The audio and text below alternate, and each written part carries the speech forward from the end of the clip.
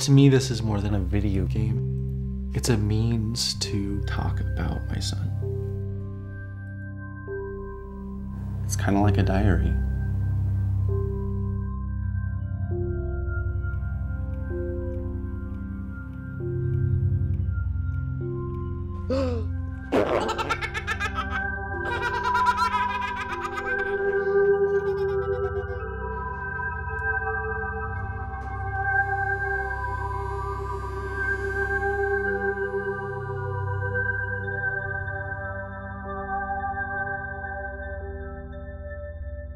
I can get so busy doing this game for Joel That you're not. that I'm not playing with Joel. Joel.